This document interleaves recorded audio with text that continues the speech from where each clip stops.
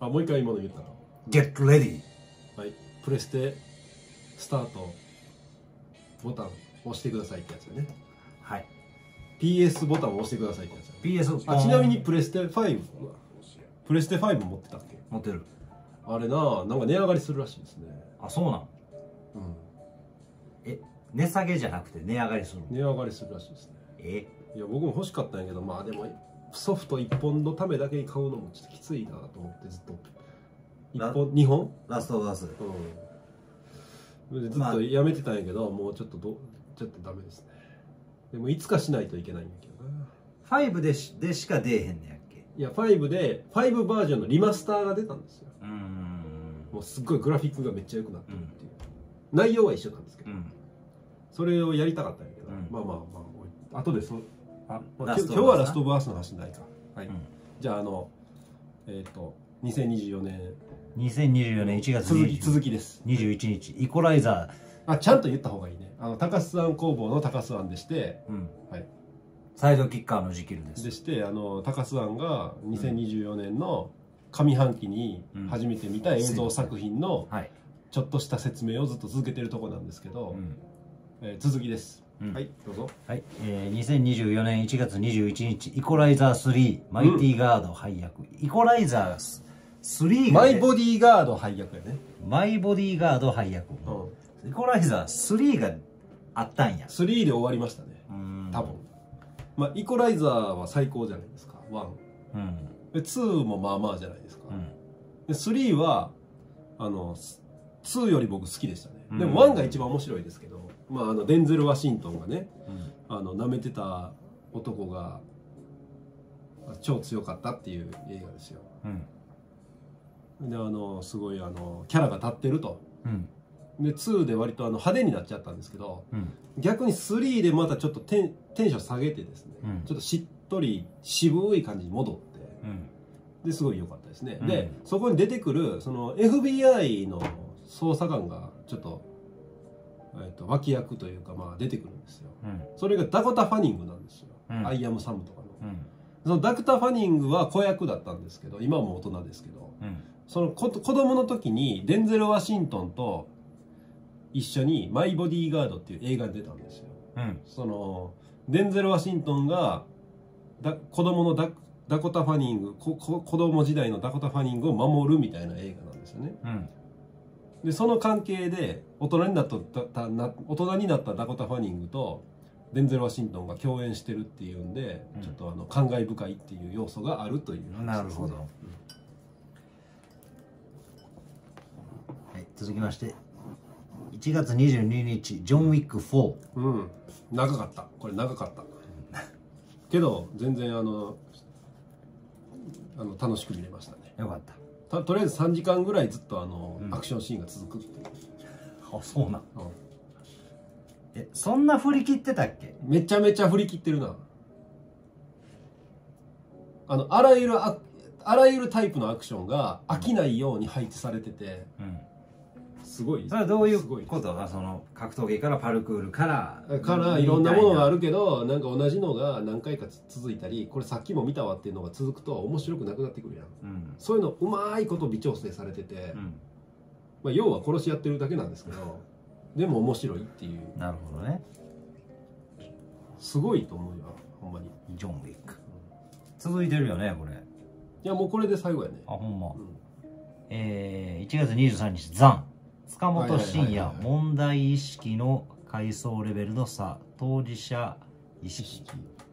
ザン。やっぱね日本の映画ってやっぱそういうの考えれるようにできてるのが多いよね、うん。最近はね。お金ないからそこで来ろうみたいなことやと思う。うん。お金ない分そういうなんていうの？アクチュアルなうん。現実で起こっている事態とうん。映画内の内容をこう、うん。なんかこううまくつなぎ合わせて考えれるように、うん。現代の問題意識これはあのだから何？戦国時代かな？うん。とかにあのこうお侍がうん。あの野武とかがさうん。要は成り上がりたいわけやんか、うん。だからこうあの農民とかも武士のふりしてうん。まあ秀吉じゃないですけど、うん。こう出世したかったら農民してたらずっと出世できひんだからこう侍になりたいから都会行って戦争に参加してうん。一旗あげたいぜみたいな人らいっぱいおるような時代ですよ。そういう時代にうん。あのすげえ強いんやけどうん。人切れないなみたいな。うん。あの剣術には長けてるがうん。あ肝っ玉は小さいみたいなやつがいるんですようん。ね、でそいつがでもあのやっぱ一旗あげたいからうん。都会行くかでもやっぱり無理やみたいな、うん。そういううじうじした映画なんですよ。うん。イライラしてくるんですけど、うん。だけどまあなんかこうちょっと現代的な部分もあったりして、うん。そのこの時代そのその戦国時代には、まあ、そういう人もいるかもしれないよねみたいなぐらいなんやけど、うん。今見見るとうんなんか現代的な見方ができるみたいな構図でできてるんやけど、うん。でそこつ塚本慎也監督らしいというか。なるほどね。おまああの少ないお金ない中でなんか楽しく見せる。頑張ってるよなみたいな。うん。感じでしたね。はい。まあそういう映画で言ったら俺は7つの会議っていうのを見たことがあるな。あそれ三谷幸喜じゃない？違う？なあいや監督は忘れたけどの野村萬斎やったね。うん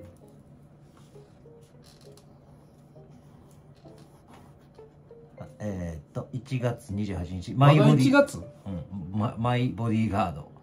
2004年マン・オブ・ファイヤー、うん。トニスコ。うん。チカチカひどい偽日付ああ。だからさっきのあのうん。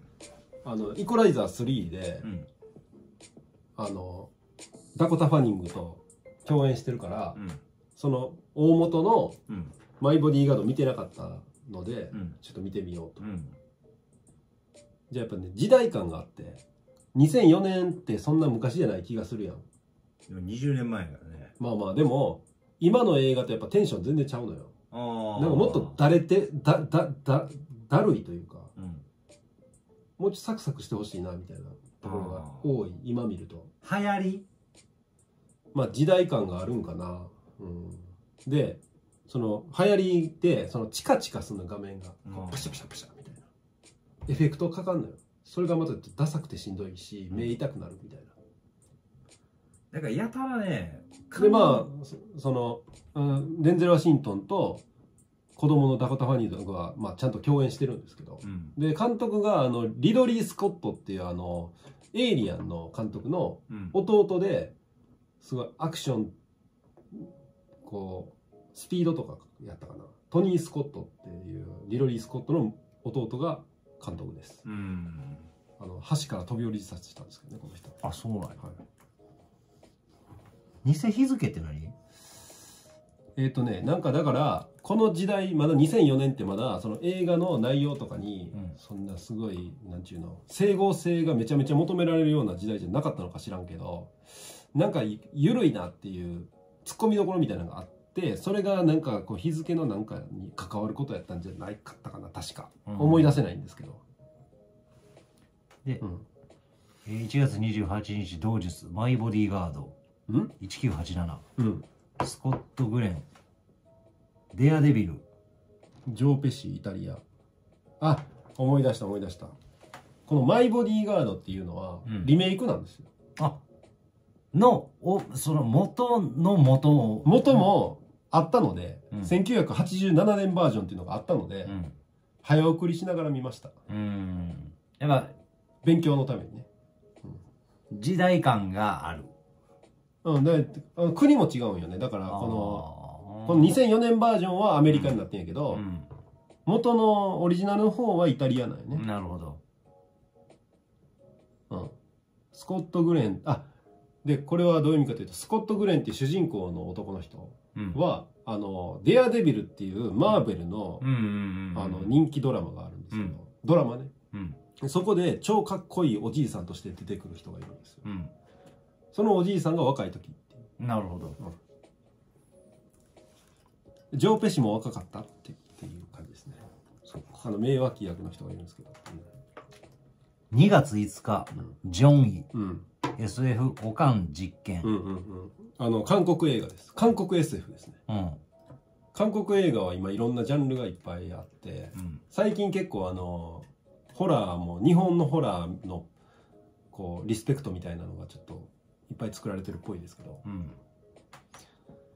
そういうノリでちょっと喋り続けるんでそのまま続けますけどうん。とおかんがすげえ強いうん。未来の戦士なんですうんでそのおかんが戦死するんやけどうん。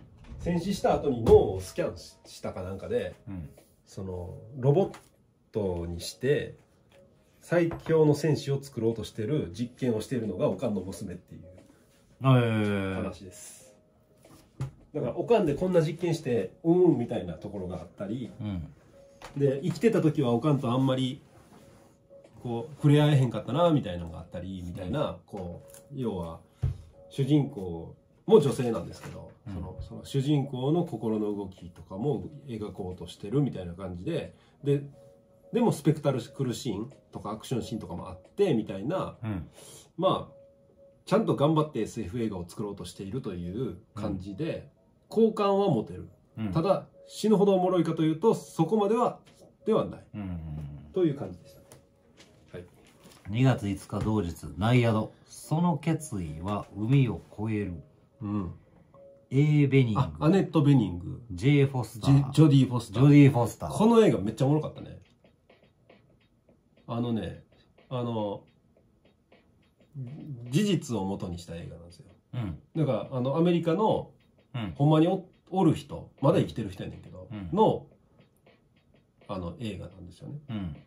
であの若い時にすごいあの水泳選手というか長距離水泳選手。うん。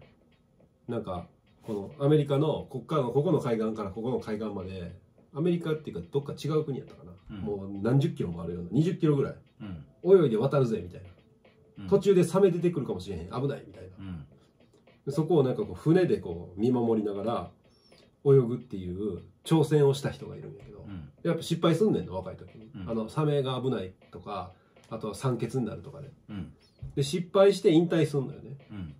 でその後普通に幸せに暮らしてたんやけど60か60代かな、うん。ぐらいになってうん。なんかこう中年の危機というかうん。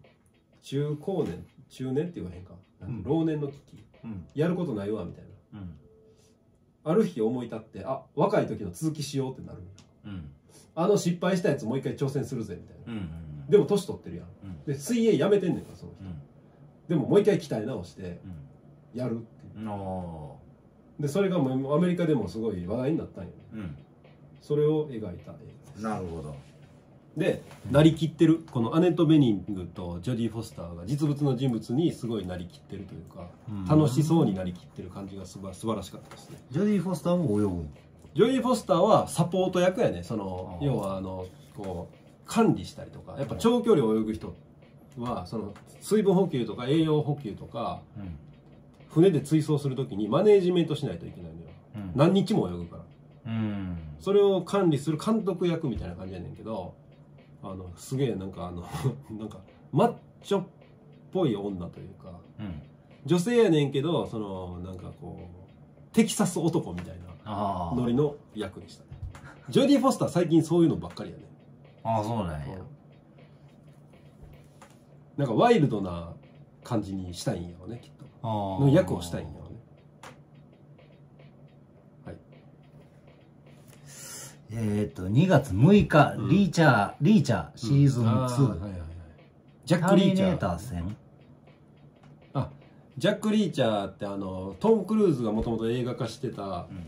シリーズの原作によりちゃんと忠実な感じで別の俳優が主演でドラマ化したやつのシーズン2なんですけど、あーまあまあまあそこそこやねんけどシーズン1見たし、まあ、2出たら見るかって感じで見てうん。じゃあ敵役があの「ターミネーター2」の敵役の人やったっていう、あまあ、そんな感じですね。それ以上でも以下でもないそんな感じか。2月6日同日核のおー読めん。核の傷。飛田これね。飛田俊太郎。飛田俊太郎医師医師とと内部被爆。あびっくりじゃなんか中漢文かと思ってうん漢詩かと思ったわ。これはこの時期にね僕仕事しながらいろんなこう音声で勉強したりとかインタビュー聞いたりとかするんですけど、うん。この飛田俊太郎さんっていう人はねもうすの話がすめちゃめちゃ感動してというかすごい人でうん。あのすごい高齢のお医者さんなんですよ。うん。うんであのえっ、とね広島で被爆してるんですよねこの人、うん。たまたまでもあのうまいこと助かったんやけど、うん。えっ、と戦争の時に二十歳ぐらいかうん。なだからもう軍軍医やったもともと軍医やってうん。で広島の爆心地に赴任してたの。うん。だからでたまたまそのあれあ原爆落ちたのって8時ぐらいね朝の。うん。7時か8時ぐらいやその前の晩にあのいつも見てる患者さんで、えー、と心臓弁膜症かなんかのうん。子供がおってうん。でその子が調子悪くなったらいつも呼び出されとったんよ。うん。でそのその日もぜ前日に呼び出されてうん。でその隣村かなんか10キロぐらい離れた村からそのその子供のおじいちゃんがチャリで迎えに来るの。うん。ほんでそのま前の晩に連れ出されてうんでその子供の面倒を見てその帰られへんからそのまま家泊まってた。うん。その時に原爆落ちたの。うん。だからその人たまたまほんまに助かったっていう、でだからもう超リアルタイムにいろんなことを見てきた人で。うん。で自分以外全員死んでるやんか。うん。だけどまあまあこうすごい爆弾なんか落ちたみたいやねみたいな感じで。うん。医者やから。うん。そその被害者その死んでない被害者被爆した人らとかも見るわけやんか、だけど被爆という概念もないのよ。原爆という言葉もないのよ。とりあえず爆弾落ちて怪我した人とかを見たりしてるししてるうちに怪我じゃない人があの怪我じゃない人が見つかんねんうん。だからあの爆心地の近くの村で診療所みたいなその避難所みたいなの作ってもう村レベルでで日本中の手の空いてる軍医とかが呼び出されてもう被害者いっぱいおるから。でそれでこう、まあ、見とっていくわけよね。怪我してる人はもうほぼ死ぬからね。でそのうちに元気な人が調子悪くなってくるのよ。でどんどんしこう死んでいくのよ。うん。でその死に方っていうのがこういうとことかうん。でベロとかが黒くなってくるここに斑点が生まれ出てきてうん。で口がめっちゃ臭いらしいのでパッて見たらもう口の中腐ってんねんかうん。でこうやって頭ピュッてやったら全部取れんねん髪の毛が。うん。でこれが実は初めて内部被爆というものを見た人の存在なわけですよ、うん。要はあの放射能で死ぬ人っていう概念がなかったから、うん。日本に放射能自体みんな知らんわけやから。うん。この死に方何なんでみたいになるんよね、であの広島に全くいなかった人もそうなっててそれはどういう人かというと広島に家族かなんかがおって様子見に行った時に黒い雨を浴びた人とかうん。あとあの生きてる人がおらんか探しに行った時に超こあの残ってる残留、うん。えー、と放射線を体に浴びてだからあのすぐに死ぬんじゃなくて1週間ぐらいで死んだりするのよあれ。うん。体に入った後に。入ってることも気づかんやん。だけど調子悪くなってきて体が徐々に細胞が腐って死んでいくんよね。でそういう人たちを間近で見て何が起こってるか全く分からんくて何千何百人を見とってきてうん。でその後なんかあれあるやん。なんかポツダム宣言的ななんかあるやんか、うん。その時にその原爆死者じゃなくて内部被爆者っていう存在を隠蔽したのよアメリカ側が。うんだからずっとそれについて医者でそれを見たもん。見ることはいいけど治す方法ないからそれは原爆のせいやって言う言うだけでもと特別警察っていうの、うん。ああいうのに捕まるって言われてたよ。だからずっとその飛田さんとかもその話できひんってなってたんやけどでもこの人はずっと見続けてそういう患者さんを。うん。で30年か40年ぐらい経った時にアメリカに行って勉強して内部被爆というものの存在を知る。うんそれまで隠蔽されてんねうん。んでちょっとずつそれをこう社会の中にこう話すことによって話したり人を見ることによってこう内部被爆という二次被爆っていうものがあと低線量被爆。うん。あのちょっとだけ浴びただけでもがんになったりするっていうことをこう世の中にこう紹介していったような人で、うん。そういう人のドキュメンタリー。なるほどであの医学的な治療法ないので、うん。まあ、低線量被爆とか。うん。でこの長年ないろんな人を見てきた飛田飛田俊太郎先生の唯一のその被爆と向き合う方法は、うん。あの体調に気をつけろと。食いすぎ飲みすぎ運動しなさすぎみたいなのをなくして一日一日健康で生きることを常に意識して病気にならないように常に意識してもうそれをややることによってあの長生きできると。いうことだそうです。なるほど。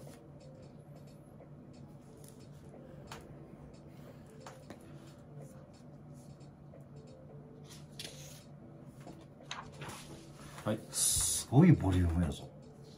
途中でやめるか。もう多分もうあ無理やろ。これちょっとこうこうやな。いや。あいけあーどうかな。よし。2月11日迷いが。アニメなんのね。12話のアニメですげえ数の自己紹介、うん。森の廃村でコミューン巨大ババうん。まあそれだ僕それだけでいい感じのアニメでしたね。もうなんかまあすごい残念なところもありつつ。アすげえ数の自己紹介だけどだから第1話で10人ぐらいパンパンパンパンって出てきてみんな自己紹介するんやんか、うん。なんじゃこれねギャグかって思うんやけど、まあそうでもないんやんか。あ自殺願望がある人たちやったかな？ちゃうかったかな？忘れたけどなんかこの世の中からこうじ自由になりたいかなんかの人らが集まって新しいコミューンというかうんがあるんでそこで新しい人生始めましょうみたいなキャンペーンに引っかかった人らがうん。こう夜行バスみたいなので集まってうん。山奥に行くんやがみんなで。そこで行ったらすごい受け入れ体制が整っててそこで新しい人生始めれるんかなと思ったらあれあれ誰もおらへんやん建物あるけどみたいなうん感じで。でそこからこうどうするよみたいなとこから始まってでそうしてるうちにちょっとなんか殺人かなんか人死んでいくんやったかな確か。うん。それが何でか分からへんからそれをこう探しながらみんな気をつけながらなんとか生き抜いたり喧嘩したりいろいろしていくようなアニメやねんけど、うん。あのなんか化け物も出てくる？みたいな。そういうアニメでした。はい、まあ、これは多分ね画面というより仕事しながら音聞いた感じですね。ああえー、2月12日ナイルナイル殺人事件。うん。ポワロプラナあの名探偵ポアロの映像化をケネス・ブラナーっていう俳優が監督主演でやってるシリーズのうんあのあのオリエント急行殺人事件とかあるやん。うんあるねんな。うんアガサ・クリスティのな。うんあの有名なミステリー小説ですよ。うんそれをいろんな人がまあ今までもこう映像化したんですけど今風にうんアレンジしてやってるっていうシリーズであの可もなく不可もなくご飯を食べながらダラダラ見れる映画です、まあそういう映画もこういいですよね。大事必要ですよね。大事よね。大事大事。はい。はい。2月14日バレンタインにうん。心霊ドクターと消された記憶。うん。エエイドリアンン・ブロディ。YouTube 無料映画。最近ね YouTube で全編無料映画っていうのがあってうん。それでなんかまあ見たんですけどうんとなんか普通に面白かったですね。エイドリアン・ブロディはあのあの戦場のピアニストうん。とかのすごいあの細長いかっこいい俳優さんでなんでちょっとなんかあのなんだろう、えーどんなんやったかな。なんかミステリー仕立てになってて、心霊現象とかもあってで心理心理学的なあの精神精神医学的なうん。パラノイアみたいな、うん。私が思ってるのは妄想なのかそうじゃないのかみたいなの。もこう絡まってミステリーが結局どうやねんみたいな。うん。見たらまあまあまあ割とスカッとするわみたいな。これもなかなかあの必要なというか楽しめる映画でしたね、大事よね。うん。えー、2月16日、おここで来たか。んトゥルーディテクティブ2トゥルーディテクティディテクティブ2ああここでトゥルーこの 2, 2, 月2月16から18までであのちょっとあの BGM がなくなってですね仕事中の。うん。トゥルーディテクティブをっていうすっげえもう最高に面白いドラマシリーズがあるんですけどあの事件捜査刑事刑事もの。うん。でバディもの。うん。でシリーズごとにうん。あの主人公は変わる。うんっていうのをが大好きなんですけど、まあ、みんな好きなんですけどうん。でそれをこう見返すというかおあの日本語バージョンがあるので吹き替えで音だけ聞いて思い出すっていう。相棒みたいなこと？ああそうですね。まあまあ水谷豊相棒見たこと見たことないんですけどあ2人とも変わる、あそれでもかうん、場所も時代も違う。うーん。けどなんかあの型があってうん。なんか過去の因縁みたいなものがあったりあと2人が最初は仲悪かったりなんかいろんな型があるのよね。うん。そういう型にのっとって面白く作られてるドラマシリーズがあって、ね。それの one two three を久しぶりに見たっていうやつですね。 oneツーツーツーツースリーワンワンがやっぱ一番面白いんですけどねあそうなんやうんご多分に漏れず、うんえー、2月15日忍びの家ぬるすぎアンダー忍者とああこれ見てないわ俺これあの角千佳子のっていう昔からおるあの俳優さんのうん。親戚の角健人君やったかな。うんうんうんがなんかね自分の企画でネットフリックスとかなんかに売り込んで完成までこぎつけたなんかアクション映画なんですよ、そうなんや。うん、ちょっとひどかったですね。ちょっなんかとなんか宣伝だけ見てたら面白そうやねんけどうん。そう忍者現代の忍者みたいな。うん。ちょっとぬるすぎ。ちょっとひどかった頑張ってるんやろうけどね。でもなんかさうん。アクションとか映像のクオリティとか頑張ってたらもうそれだけで日本すげえっていうぐらい日本ってひどい。もうなんか落ち込んでるんやなって思わされるよね。あクオリティが低いです。なんか話の。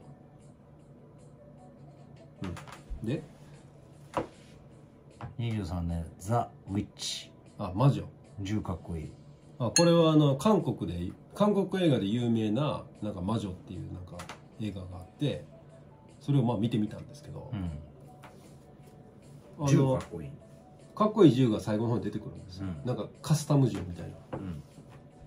まあそれだけやねんけど その前半と後半では映画のジャンルが変わる感じが面白かったね、うん。なんかやっぱ韓国はやっぱ実験的なこともしてるなっていう感じで、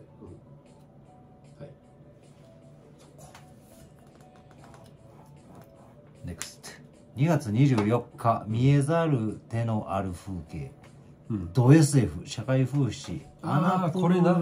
アナプアンナプルナピクチャーズやね。アンとプラン B やね。あこれはあのあれや制作会社が。あでこれはあのアマゾンプライムでやってた中編1時間ぐらいやったような気がするうーん短い。なでもすごいハードな SF というかあのあの月月やったかな？違うか空中都市かな、うん。ができててそこで超金持ちが住んでるんですよ。うん。で地球はもう温暖化とかもうなんかあの荒廃してるというかもう結構スラム街になってて、うん。貧乏人が地球で住んでるんですよ、うん。やったと思うね確かね。あ違うかな？宇宙人に侵略されてるんやったかな？うーんで宇宙人がなんかぷよぷよした宇宙人がうん。おってうん。でそいつらが空中都市で住んでてでえー、と金持ちの日本金持ちの人間は空中都市で宇宙宇宙人と一緒に暮らしてるんですよね。うん。でその宇宙人の空中都市から落ちてくるゴミとかを拾ってなんなんかあのすちょっと貧乏なスラム街の地球で住んでるうん。地球地球人って感じだったかな、でこれがまあ普通に面白かったんですけど確か。うん。多分それで合ってると思うんやけど。なんか似た映画がもう一個あったような気もすんねんけど分からんけどこのアナプルナピクチャーズっていうのはうん。アナプルナエンターテインメントやったかな。うん。あのゲーム会社があるんですよ。うん。それがすごい良質なインディーゲームとかをパブリッシングしてたりとかうんする会社でもう外れがないからきっとこれも面白いやろうと思ってだから映画部門ですよね、うん。あとプラン B っていうのはブラッド・ピットの会社ですね、うん。でももう間違いないから見たら面白かった。ああよかった。よかったよかった。えー、っとこれやな、えーっと26日キングスマンファーストエージェント。レイフ・ファインズね、ううん。んこのキングスマンっていうのはあのこの3とし3なんですよこれ。うん。やけど時代は西部というか中世。うん。でキングスマンっていうのはそのイギリスのあのスーツ屋さんが実はスパイ活動もしてたっていう話なんですよね。うん。でこうスーツの中に最新鋭の武器とかがこう装備されてたりとかうん。するっていうシリーズののそのキングスマンっていう組織がなんでできたかっていう最初の話です。うん。最初の話最初の話。確か確かえー3月13日「マインドハンター12」シーズン。うん12シーズン。1と2シーズン。1と2あを、1から2シーズン。うん。うん。続けてみてで2シーズン2で打ち切りっていう。途中で終わってまうっていう。クリミナルマインドみたいなもんなのかしら？クリミナルマインド見てないから分かんないけど。シリアルキラー。ソシオパスマン。ソシオパスってなんか何やった？サイコパスの逆。ソシオパスってあの社会的にこう馴染めない人のことを言うんじゃなかったっけ？はあはあはあはあはあはあはあまあ FBI でその戦後とかかな。アジア太平洋戦争の後ぐらいうん。とかもっと前なんかな。分からんけどアメリカにおいてそのえの FBI においてうん。あの新しい捜査方法を確立していった人たちのどうやっていったかみたいな。うん。だから行動科学捜査。シリアルキラー。なんか精神分析とかでこう犯人のうん。犯人像を予想していってそれをに基づいて捜査するみたいな手法を作り上げていった人たちのドラマドラマだね。なるほどね。でこれがねマンハントっていうえドラマがあって。マンハントは俺も見たな。見たわ。マンハント今見られへんくなってるあそうなのなくなった？もうどこでも見られへん今。日本で見られへん。あの言葉が大事ややつじゃん。そうていうかあのユナ・ボーマーっていう実在の爆弾魔の。ウォーダー。ウォーダー。え？ウォーターじゃなくてああウォーあーっていう。それをだからあれやん。あの操作で見つける。それ落ちやんか。それとちょっと似てるだから。でもマンハントの方が全然面白いけど。ああのドラママジですごかったな。あうん。もうもう俺もう最後8話かなんかあれ10話かなんかあって8話かなんかでその犯人のさ生い立ちが明らかになるやん。もうそこで号泣したもん。めちゃめちゃかわいそうでめっちゃかわいそうやったあれ。かわいそうっていうかまあ。うん。あれはすごいすごいドラマやったけどなんで今見られへんくなってんねやろって思うね。はい。はい。